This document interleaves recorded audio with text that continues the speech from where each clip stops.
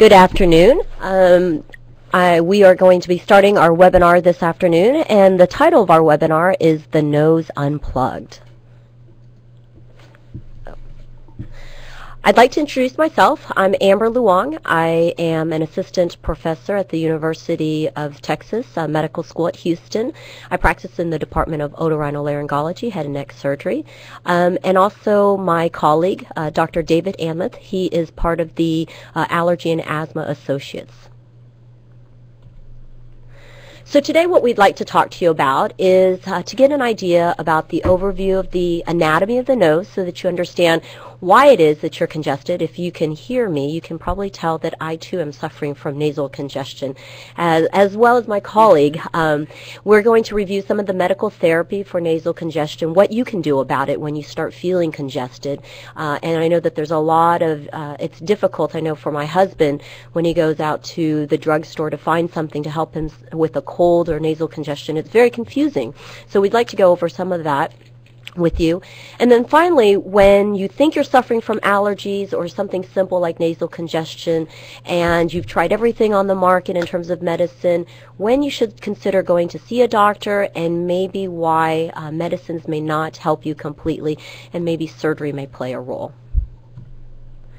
So I'm just going to start out by discussing and giving you an, an idea of the anatomy of the nose and the sinuses. So the, I just found this kind of funny because this is how I feel someday. Um, this tree is talking to another tree. You sound a little congested today. Well, I've got a squirrel in my nose, and uh, I, I, at least for today, that's exactly how I feel. Um, so what does the nose and the sinuses do? Well, um, for one, we know that it hel helps us smell. Um, and uh, of course that will help us taste our foods. But in addition to that, it helps humidify the air so that when we breathe in the air into our lungs, it's a little bit warmer. It helps filter the air. All that nose hair that we have up front actually helps filter um, some of the larger particles uh, from getting into our lower airway.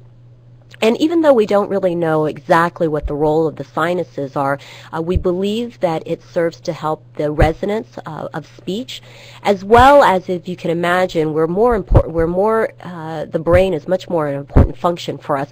And so we believe that the sinuses actually help to buffer any sort of trauma uh, prior to uh, affecting the brain. So the one thing I think that comes to a surprise to a lot of my patients is that they think that the nose, um, number one, goes up as the as you see the bridge on your face, but in fact it goes back. And the other thing that's surprising to a lot of people is that it's not just an empty tunnel, but in fact it's a very complicated anatomy that's going on inside the nose. So um, in the picture here, if you if you were able to see inside your nose, um, we're looking here on the right side nose. The septum separates the right cavity from the left cavity. And also you have these outpouchings um, called turbinates. And there's three sets usually. This is the inferior turbinate, which you could actually see if you went to a mirror and looked up into your nose at this uh, eh, from the mirror. And then also a little bit further back is the middle turbinate. And then finally there's another one a little bit further back called the superior uh, turbinate. And the idea for these turbinates um, is that it increases the surface area to allow our nose to humidify and warm up the air. In addition, there is uh, just underneath this inferior turbinate is where your tear ducts drain. So it's a very uh, uh, complicated and interesting anatomy despite the initial uh, uh, perception. So what about the nose and its relationship to the sinuses um, and, and how, how are they related? Well, basically what I like to explain to my patients uh, is the fact that there are four sets of sinuses and they're all relative to your eye. Uh, the one below your eyes uh, or on your cheeks are called the maxillary sinus and we can see that here on this CAT scan uh, on this slide, and it's depicted here on this CAT scan. The nasal cavities are right in the center, and these are those turbinates I was showing you on that previous uh, slide. And these are the cheek sinuses or the maxillary sinuses that lie uh, underneath the eyes. And then there's the ethmoid sinuses. They are in between the eyes and not on this slide. Um, uh, is uh, there are some frontal sinuses that are above your eyes. And then finally, there are a pair of sinuses that live behind your eyes called the sphenoid sinus. All of these sinuses ultimately drain into the nasal cavity. Um, the other thing that you should be aware is that our sense of smell. The nerves actually come out uh, of the brain into the nasal cavity, kind of on the roof of the nasal cavity, and that allows you to have a uh, be able to smell. And then finally, the other thing is that the nasal cavity is very rich in blood vessels, and hence why it's very easy to have nosebleeds. So I'm going to switch it over to my colleague, Dr. Anmuth, and who will talk to you about the medical aspect. Hello, everyone. Again, uh, I think uh, Dr. Luong's voice actually sounds a little bit clearer than mine, so hopefully we'll get through this all right. Um, and again, we'll probably talk a lot about the, uh, the things that cause my voice to be hoarse uh, as well. So again, the topic that we're talking about is nasal congestion. But nasal congestion as a whole is just a symptom of an underlying diagnosis. That usual diagnosis uh, most commonly is, is considered to be rhinitis. And rhinitis um, are the symptoms that are produced by the irritation or the inflammation which are in your nose. Uh, it's very, very common here in the United States um, and worldwide. Uh, and, and in the U.S., about 10 to 30 percent of adults are affected, but more so about 40 percent of children. The two major variations of rhinitis, one being allergic, the other being non-allergic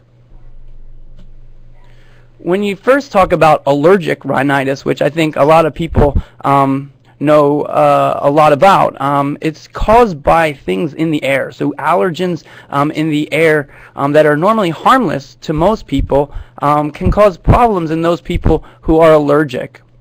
Usually what happens is an overreaction of the immune system who produce uh, an antibody called immunoglobulin E, uh, which travels to certain cells that then release chemicals resulting in the symptoms that is perceived as allergy. So anywhere from sneezing, itching, stuffy nose or congestion, a runny nose, itchy eyes, uh, and of course a postnasal drip. In terms of allergic rhinitis, there are two causes. The first being outdoor allergens, which most people are familiar with. So there are three types of outdoor allergens that might affect people the trees, the weeds, and the grasses.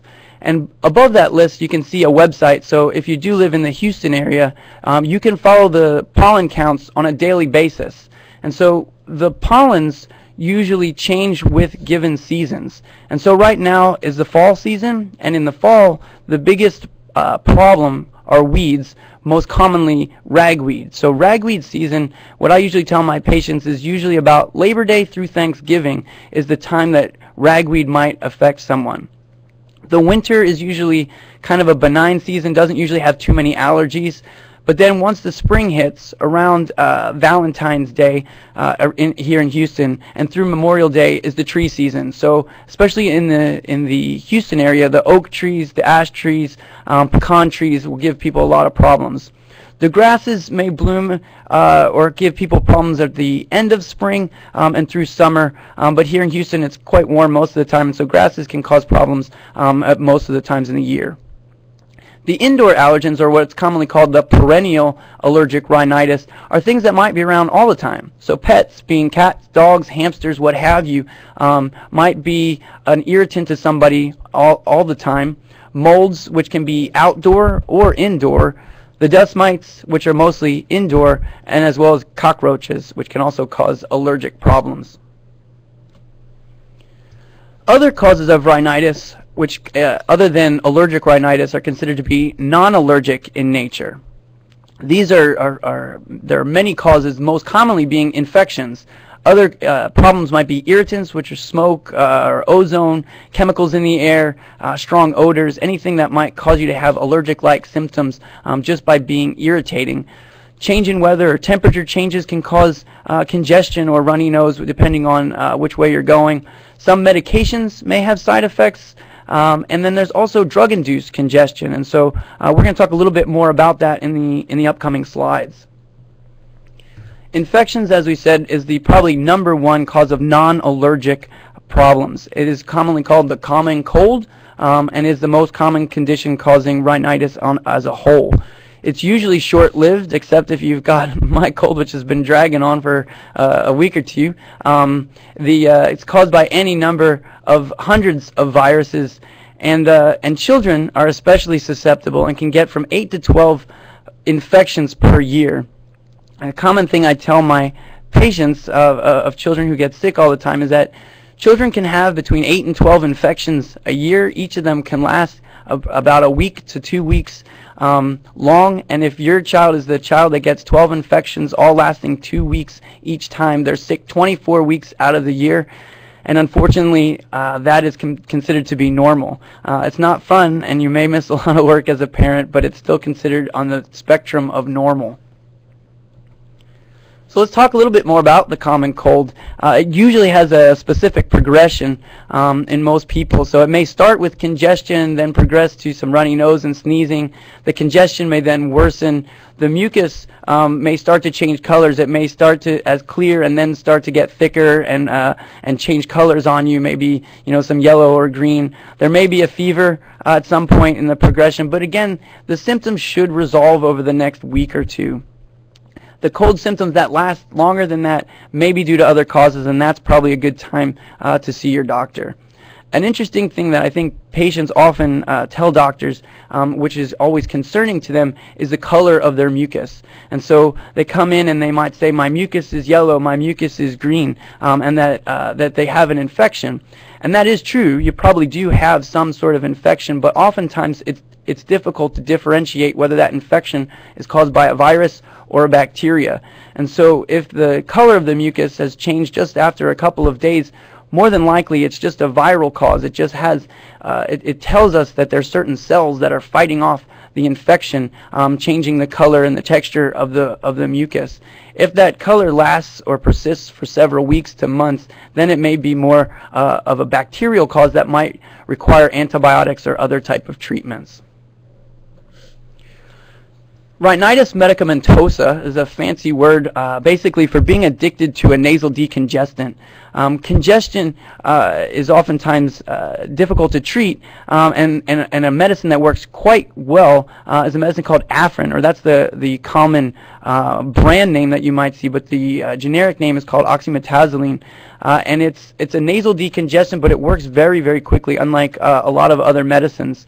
If used longer for periods of time, uh, more than uh, probably uh, five days or so. Um, you it, people use it for weeks at a time, and what happens is the only thing that works is the medicine. And so over time, the uh, the nasal tissues swell after the medication wears off, and that the only relief will come if the if the patient uses more and more medicine. And so over time, the effectiveness of that medicine wears off, and and and you need more and more med- medicine um, to to reduce the congestion, and that's when addiction occurs. And so for people that do use these medicines, we just need to be very careful and only use them for brief periods of time to help improve uh, acute symptoms. So let's talk a little bit more about the medication classes. And again, Dr. Luong sort of hinted that we were going to try and help you pick the proper medicines um, for you when you do get some symptoms. I think a really common medicine are antihistamines, um, oral or nasal, and we'll talk more about those we're going to talk mostly about over-the-counter things that you can buy. Um, the other medications you might hear of are leukotriene inhibitors. So some of you might be on Singulair, uh, which is a common medicine. The nasal steroids, which are classes of uh, like Flonase or Nasonex or Nasacort, um, and they are prescriptions. The nasal decongestants, again, similar to uh, what we just talked about, the nasal decongestant, but there's also oral decongestants. The expectorants and mucolytics, the cough suppressants, and then good old nasal saline. And so I think we underestimate the powers of just washing out your nose with, uh, with nasal saline. So let's first look at the antihistamines. There are a lot of antihistamines. Um, the oral antihistamines come in sort of two flavors, one being the first generation and the other being the second generation. The first generation, I think uh, people um, are very familiar with and is commonly known as Benadryl, which is probably the most popular first generation antihistamine. And there are others on that list uh, to your left as well. The problems with uh, first generation antihistamines is that one is that may make people quite sleepy often, um, and that their effectiveness is usually short lived. So they might only last you maybe four to six hours in length. The second generation antihistamines try and take out that uh, sedative property um, and don't cause um, as much sleepiness. Um, but yet there is some of them, like Zyrtec, which might cause a, a small amount, but not nearly um, as much as its uh, predecessor of hydroxyzine. The second generations, again, as you can see on the right, there's Zyrtec, Allegra, Claritin, um, and, and Xyzal. So those will also last you a little bit longer um, and hopefully almost get a 24-hour duration in terms of covering your symptoms. The nasal antihistamines are prescription only, and those two, one is called um, the other is olopatadine, and their brand names are either Astelin or Astepro and Patanase. The decongestants, the nasal decongestants, we've already kind of gone through. Again, brand names, Afrin, four-way spray, um, some Vicks brands. Again, there's a lot of different um, flavors, but again, you, when you look at it, the generic name is oftentimes the same. The oral decongestants uh, usually are about two different flavors. Phenylephrine uh, is one, the uh, more commonly uh, Sudafed, um, which you might find uh, behind the counter is the pseudoephedrine. The phenylephrine usually you can find um, in front of the pharmacy counter. When you talk about expectorants and cough suppressants, and so an expectorant is something that will help to sort of thin the mucus. Um, so if you've got a cough or you've got mucus, you want to try and thin that mucus to help it drain um, and reduce some of your coughs. So the most common, I think, these days is guaifenesin, often known as Mucinex. But again, it's very similar. Robitussin is also um, guaifenesin as well. So again, the generic names are oftentimes the same. The brand names are what change. And so oftentimes look at the brand name, but look specifically at the generic generic name of what makes up that medicine. A cough suppressant um, is the most common, I think, over the counter is dextromethorphan, um, oftentimes called Delsym. But again, when you look at the, the names of the medicine, so if you combine Delsym with plain old Mucinex, you get Mucinex DM. And so what we want to encourage everyone is to just be careful of what you buy and not to duplicate medicines um, and just look what ingredients are in the packages. So what medicine should you choose? So again, think of the symptoms that you're having and then try and pick the correct medicine. So if you're just having clear drainage, sneezing, and some itchy nose, it sounds like you might just have plain allergies and an antihistamine might be effective. If you've got colored drainage and a postnasal drip, an expectorant might be helpful, so something like Mucinex or guaifenesin. If you've got a hacking cough, you might need a cough suppressant and something like dextromethorphan. If you've got drainage in a cough, using something like Mucinex DM to combine the two ingredients might be the most effective medicine. If you've got pressure, pain, uh, and congestion, again, using the nasal decongestants in addition to a possible pain reliever like Tylenol or Advil or ibuprofen um, may be helpful. The last thing we're going to talk about is immunotherapy. So immunotherapy are basically allergy shots, as commonly known as. The, the, the treatment uh, for severe allergic rhinitis um, or ongoing allergies that just aren't well uh, managed with medications, um, we can use allergy shots. They're not a candidate for, for allergy shots if you don't have any allergies. The way they work is that they're given over periods of time, but it's a long-term treatment course. It's, it gets to the basic root of the problem instead of treating the symptoms. And so what it's hopeful is that over time that you can desensitize the body in terms of the harmfulness of the given allergens that are in the air and that the body doesn't react the same way over time. But it's not a quick fix and we usually do this over about three to five years to teach your body uh, that, that what you think is harmful is not so harmful. So in summary, from a medical side, nasal congestion, again, is a symptom of an underlying diagnosis. Rhinitis is commonly associated with this nasal congestion. There are two forms of rhinitis, again, allergic and non-allergic, and to control symptoms, it's important to have the right diagnosis. So again, there are a lot of medicines to treat nasal symptoms, and I think by seeing your doctor, they may be able to tell you which one you have, and then you might be able to choose the proper medications for you and make you feel a little bit better. In terms of further education, um, you can be directed towards um, the American Academy of Allergy, Asthma, and Immunology, as well as the College of Allergy, Asthma, and Immunology.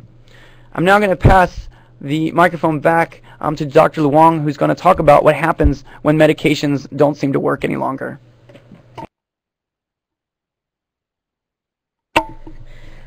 So um, I'm back, and I also wanted to mention that uh, I see that there are a couple of questions coming up. We'd like to hold off answering these questions until the end of the presentation. So if you just uh, bear with us, um, let me get through the rest of the presentation, and then we will address those questions at that time. So the next part of the presentation is basically, let's say that uh, you you've gone to you've you've you thought it was allergies initially or a cold, and you've gone to the pharmacy and you've tried a number of different things, um, and it's been a couple of weeks or so, and none of these antihistamines or nasal saline sprays, decongestants are working for you, but yet you can you still can't breathe out of one nose.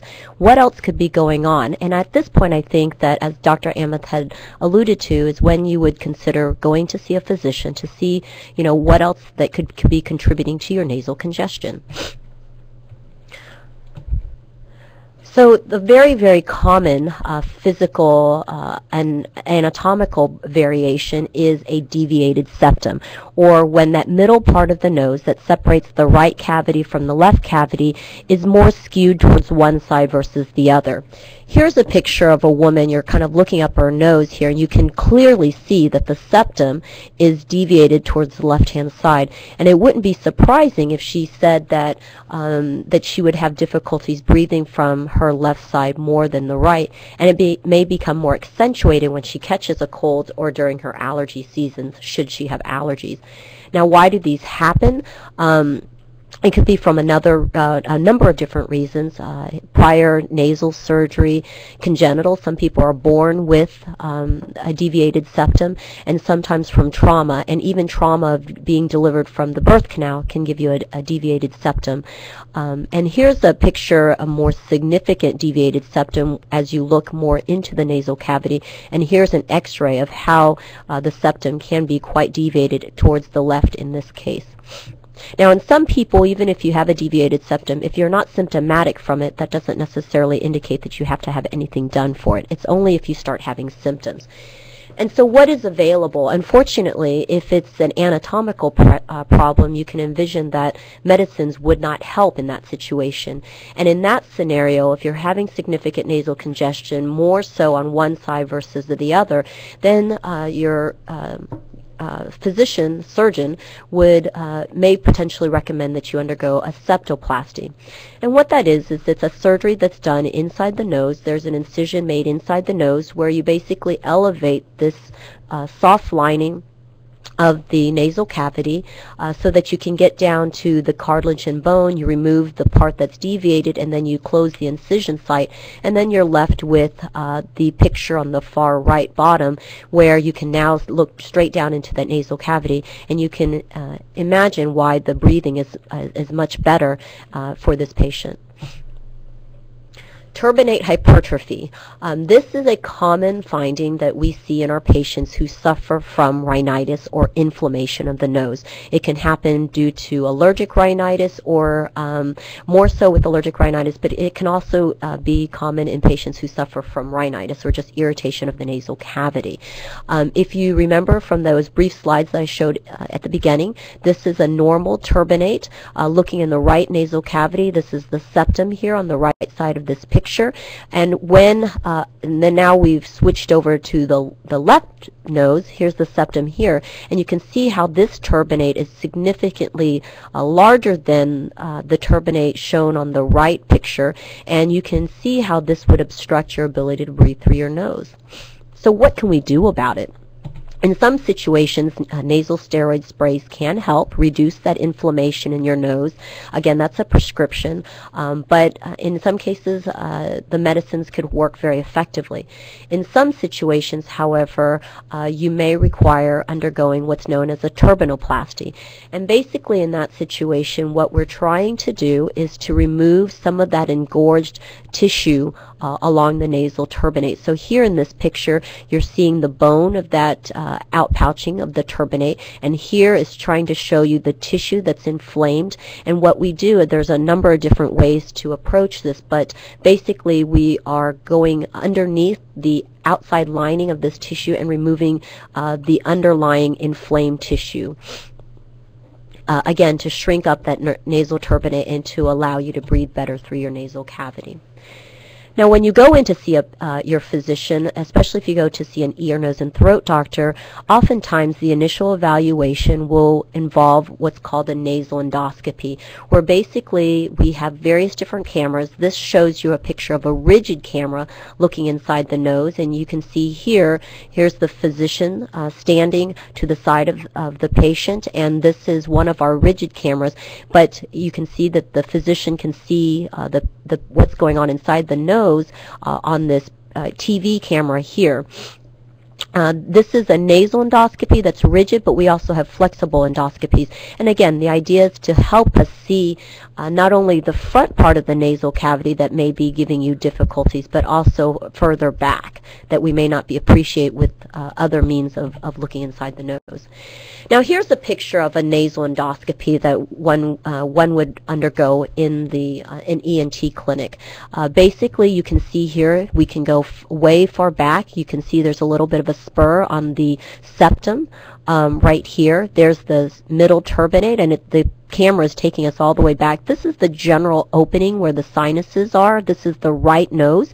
And so although this patient has not had sinus surgery, this is the general area where the sinuses drain here. This is a suction being introduced to this area. And if you're having a sinus infection, we would be able to appreciate pus uh, coming out of that general area. So another cause of uh, nasal congestion could be not only is the inferior turbinate enlarged, but also the middle turbinate, which is a little bit more further back in the nose.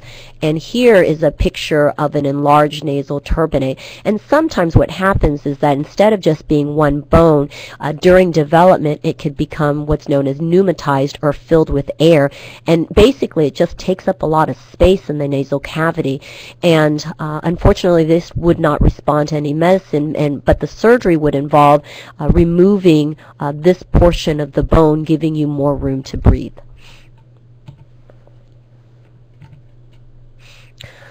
So in our patients who have severe allergies or nasal congestion, this is just a picture of what we might see on a CAT scan. You can see here the enlarged inferior turbinates. These are ones right here, and you can see that sometimes they can get so big that they're touching the septum, which is in the middle part here of this CAT scan. But when we look with our nasal endoscopy, uh, this is that middle turbinate uh, uh, that I was showing. Sometimes you can see if they're very swollen that there's evidence of inflammation within the sinuses. And so you could feel nasal congestion, but it may be more than just inflammation limited to the nasal cavity, but rather we might be worried about what's known as chronic rhinosinusitis or, or inflammation of not only the nasal cavity but also the sinus sinus cavity. And in this situation, you're having, uh, you can have an acute sinus infection, um, as some of us experience, that goes away in about uh, 7 to 10 days, or you can have this entity called chronic rhinosinusitis where it's lasting for 3 months or longer. Basically, some of the symptoms are facial pain and pressure, congestion, obstruction, discharge, uh, discolored, uh, purulence, and some other minor symptoms could be headaches or fevers, uh, bad breath, uh, fatigue, dental pain.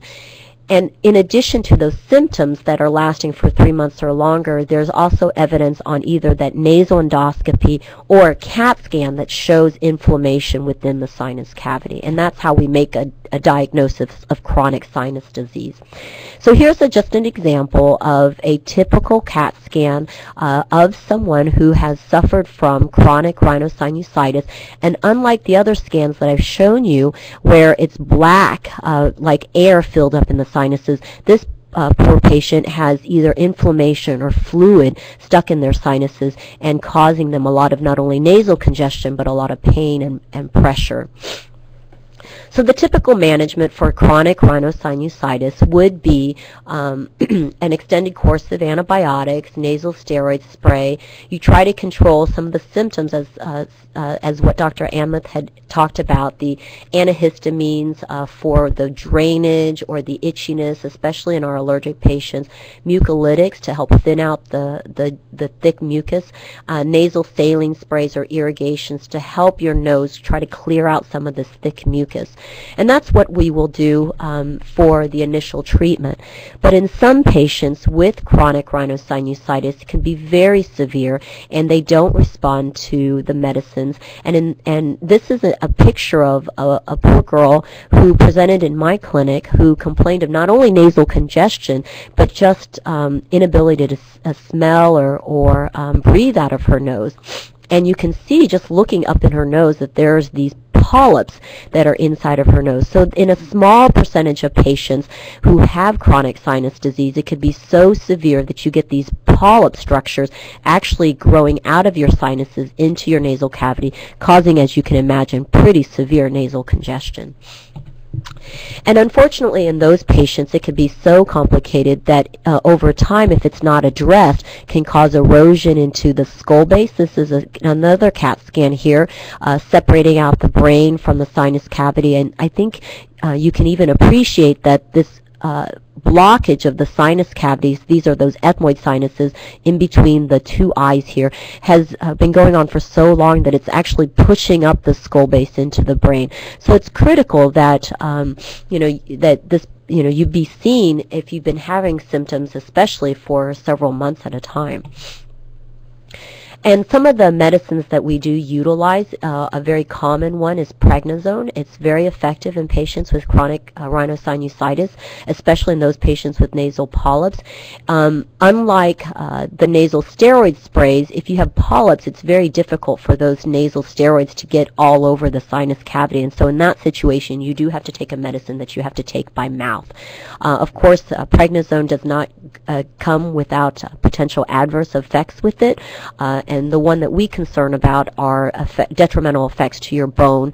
Um, they can also cause bumps in your blood, uh, blood sugar level. So these are things that your physician should talk to you in detail before uh, embarking on a course of nasal steroid, I mean a course of systemic steroids.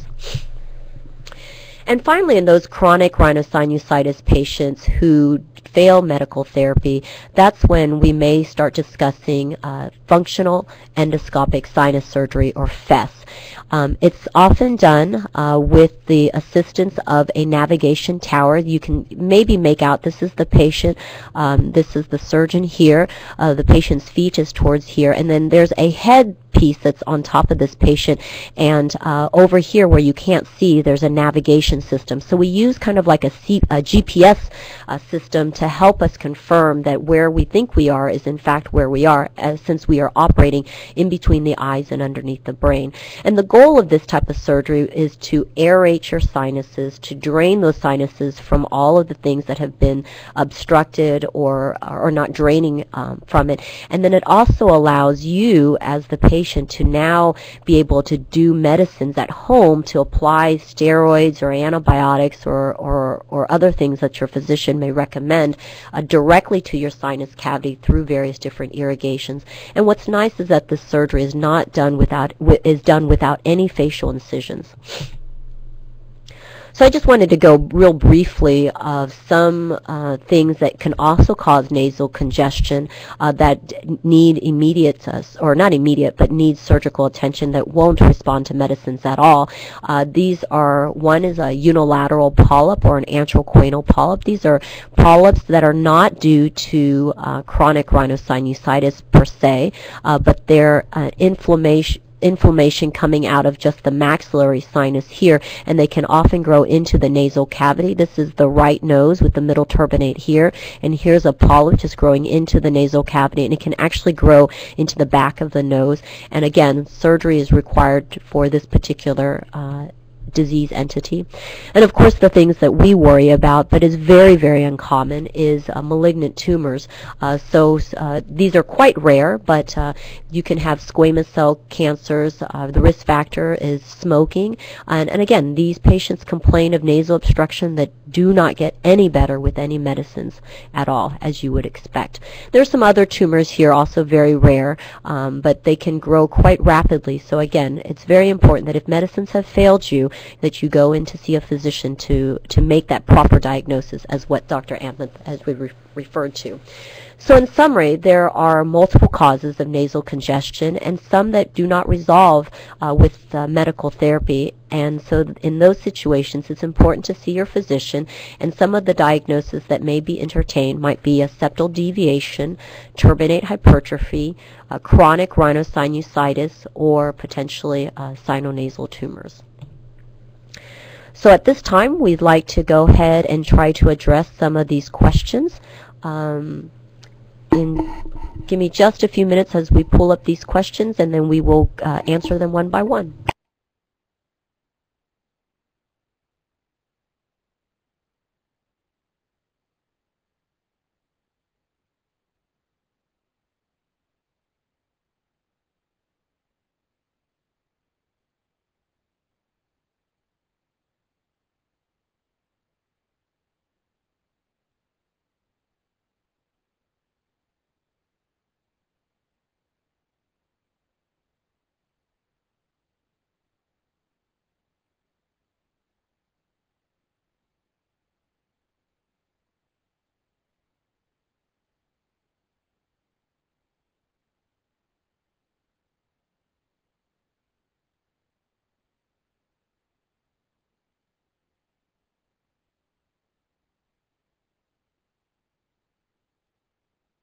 All right, we're going to start with uh, going down the line on the questions. So we'll try and read the question um, and so you guys know what we are talking about. Um, the first question is, why is it that as I've aged, my allergies have progressively gotten worse?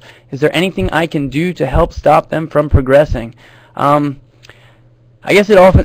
I guess it. it uh, we have to consider how how old um, you, are getting. Um, certain certainly uh, allergies can can worsen um, over time. Um, they can come at any time, and so I get a lot of people who you know never had any allergies, um, and then all of a sudden, you know, when they're 30 or they're 40, they start to develop um, symptoms, and so there's no sort of uh, age range um, that allergies affect. Oftentimes, we do see it early on, um, but it is uh, is possible to get allergies that that worsen with age. Uh, in addition, and depending on again how how old is um, you, you, you are is that sometimes with uh, with getting older, um, there's a, a, large non-allergic uh, component um, to to drainage and uh, um, and allergy-like symptoms that might not necessarily be allergies, but more of a non-allergic uh, cause. Um, but again, in, in order to assess that, you probably need to talk um, with your physician.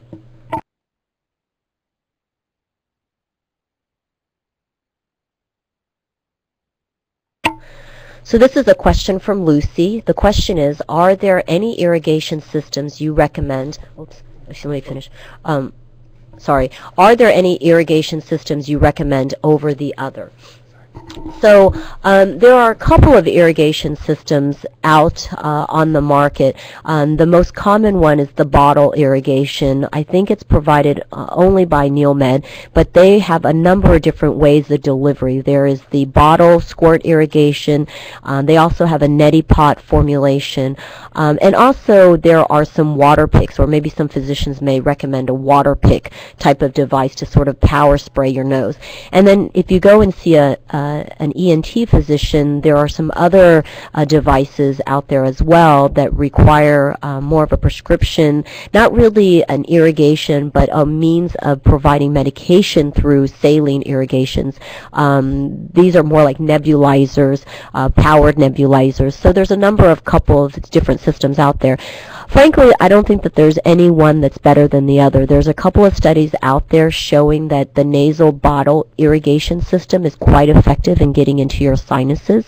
Um, the neti pot, uh, there's been less studies with the neti pot, but that too is also a very effective way of getting solutions into your sinus cavity. Um, the other ones, uh, as I mentioned, the nebulizer or the water pick, I would probably discourage the use of a water pick because if it's not cleaned properly or managed properly, um, it can introduce uh, molds and other things into your sinus cavity. So um, I usually would recommend the uh, water bottle or the neti pot. And then if you are a patient who's had sinus surgery we need to introduce uh, antibiotics or other medications to your sinuses, uh, at that time I might recommend using like a nebulizer system. But again, those aren't uh, uh, commercially available at this point.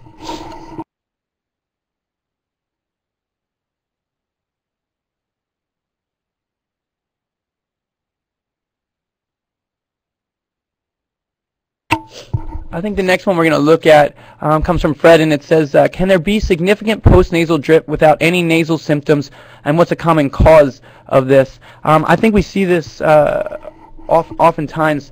Um, and yes, you can have a significant post-nasal drip without nasal symptoms, um, which can be caused uh, by allergies, but oftentimes what we see is um, sometimes a post-nasal drip um, that doesn't come with nasal symptoms can oftentimes be reflux. Um, and I think that that's, uh, it's, it's hard to understand that sometimes reflux can come all the way up. Um, I think we always think that the mucus is coming down versus um, reflux coming up. And so, again, talking to your, your doctor about, you know, what the symptoms are and what medicines you've tried um, might be helpful in terms of uh, helping you out with that.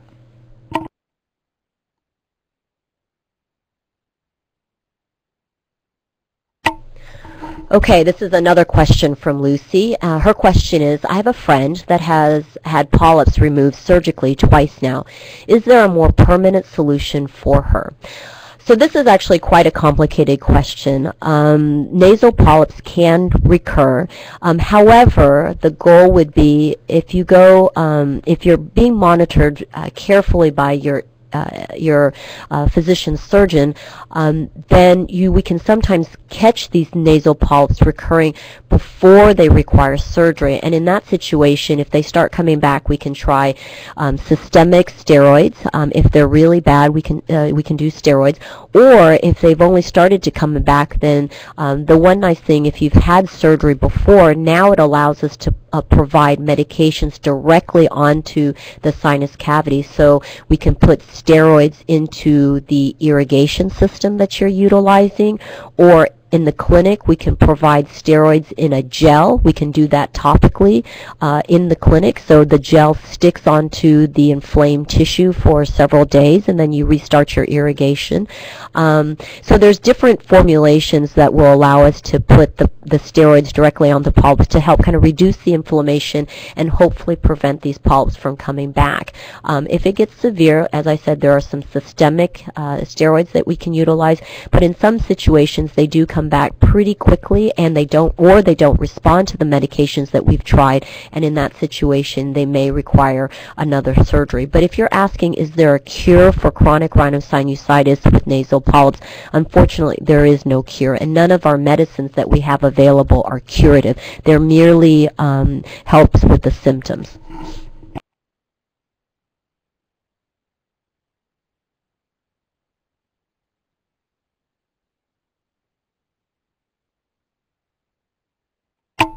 The next question that we're going to look at uh, comes from Robert and says, can you tell me which medication for grass allergies has the best impact versus side effects? And so allergies um, as a whole, in terms of the medicines, the medicines don't discriminate what you're allergic to. So um, you might be allergic to grass or weeds or trees or what have you. If you if it's truly caused by an allergy, then the antihistamines um, should work. And so for there's not one medicine that that's in particular that you would choose for uh, grass per se. Um, and so I, I, I think depending on how severe the allergies are, and antihistamine is always a, a good choice. And so those are over-the-counter whether it be Zyrtec, Allegra, Claritin, um, or the first generation's Benadryl, things like that, um, are always a good start. Uh, and if they don't work, then again, seeing your doctor for some of the prescription medicines, whether it's the nasal steroids like Flonase or Nasonex or something like that, um, or the nasal antihistamines.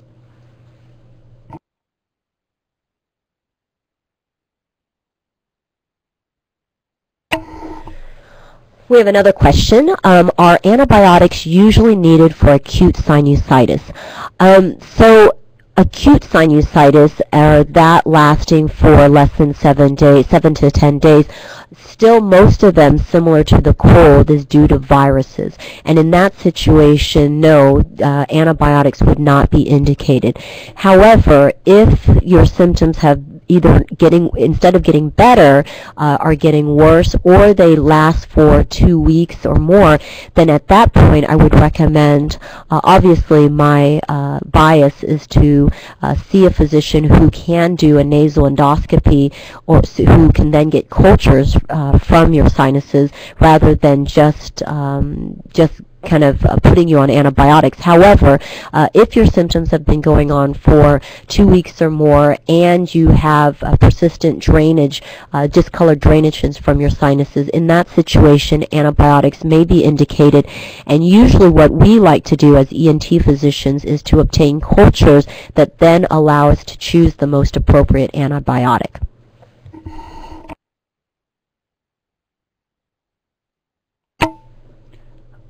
I think this next question is a good question from Neil, and let me uh, let me read it out to you guys. Um, he asks, I'd like to take my five-year-old to be tested for allergies.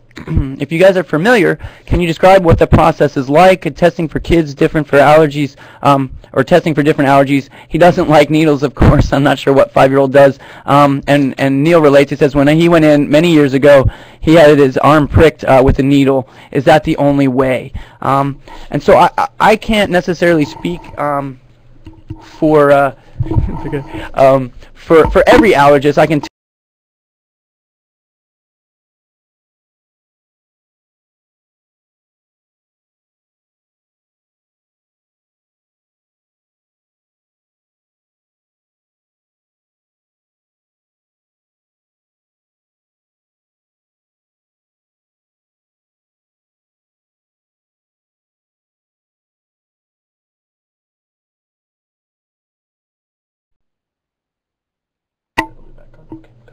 Sorry, a little technical difficulties. Hopefully we're back on. Um, we were talking about allergy testing um, specifically in children. Um, and so personally, um, and again, the, the, most common type of allergy testing uh, and that most uh, allergists use our, uh, our allergy skin prick testing. Um, it does not involve needles. It's actually um, more of a, of a plastic um, sort of uh, toothpick-like device, depending on what the the um, the allergist uh, chooses. Some of them are multi-headed, um, some of them are single-headed, um, but they're not necessarily needles. They're more of a of a plastic um, device. And so for me, most children do absolutely fine. Uh, I think the biggest problem that we see is, is that they that they won't sit still, or it, if it, if it's actually positive, it's usually pretty itchy. Um, some allergists might use um, needles uh, depending uh, in what tests positive or, or negative. And so I guess I always encourage people, to, I guess, to call um, whoever you're going to see um, and ask what their uh, what their policies are, and uh, and so you'll know before before you go what uh, what you'll be comfortable with.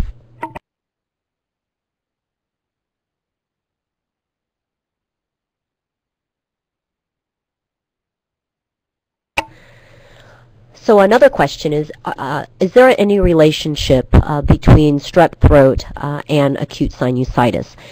And uh, basically, um, if you know that you have strep throat, strep throat is where it's an infection of the back of the throat due to a bacteria called strepno, uh, strep pneumococcus.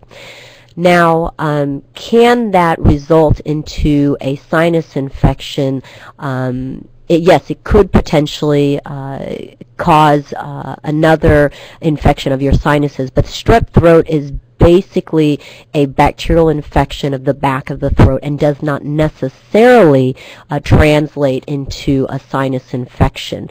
However, that same bacteria causing strep throat is a very common bacteria to cause acute sinusitis that is bacterial related.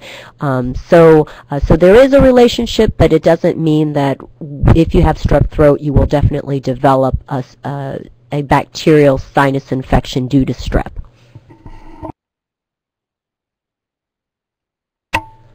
Next one we're going to go with is, uh, is from Lyle. It talks about how his allergies were really bad over the past three months here in Houston because it's been pretty dry, and he's had bloody noses, and he's having to blow his nose a lot, and that could that be causing the blood? Um, absolutely. Uh, the interesting thing uh, uh about the past few months, um, not more recently, within the past couple weeks there have been some allergies, but over the past couple of months, because it's been so hot and so dry, is that nothing has been able to really bloom um, here in Houston. So if you look around us, um, most everything is, is, is cracked and, and, and dead. And so pure, pure allergy um, for the past uh, summer was actually quite low. Um, but as we talked about before, the non-allergic symptoms can certainly be um, caused by, by the dryness or other sort of irritating things that might be um, in the air. And so for um, an easy solution or uh, to try for some some bleeding of the nose it might be just some some of the nasal saline whether you you know the washes or gels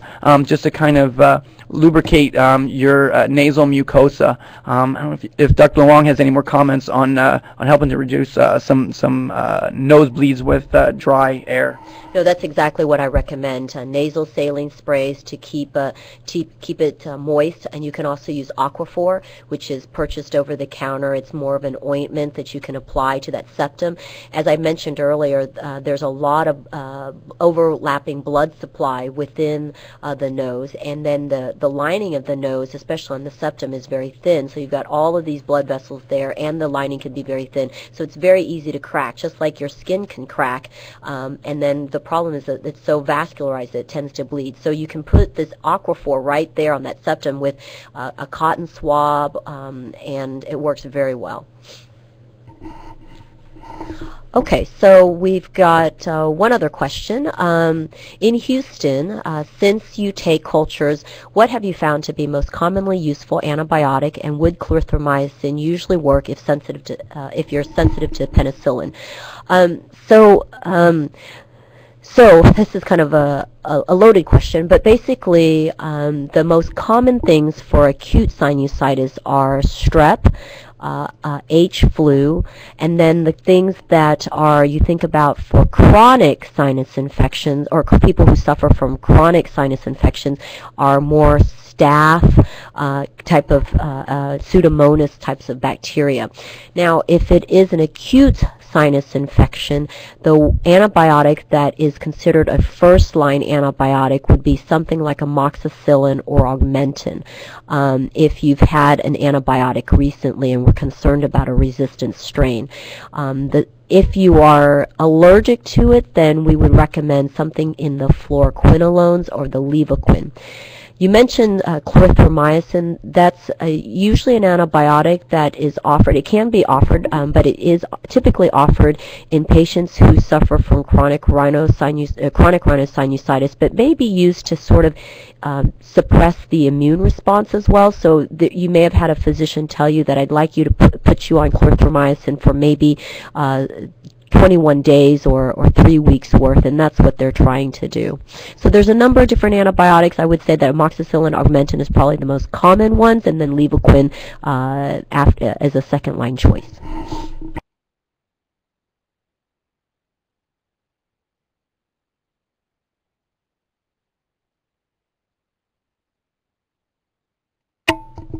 I think we've got time for maybe one or two more questions. Um, this one comes uh, again from Fred is the value of nasal antihistamines and the side effects. We touched a little bit about um, nasal antihistamines. Uh, I don't get too many uh, side effects from nasal antihistamines. Some the uh, from the Astelins or Astepro or the Patanase. Um, again, with any uh, antihistamines or any nasal sprays, rather, um, depending on technique and uh, and and how you use them, there's always risks of of nosebleeds. Um, but for the most part, the, the, the nasal sprays as the antihistamines um, are pretty safe to use, um, and they can also be pretty effective. And so um, we use those pretty often, and, uh, and we're pretty uh, confident that the side effect profile is pretty small.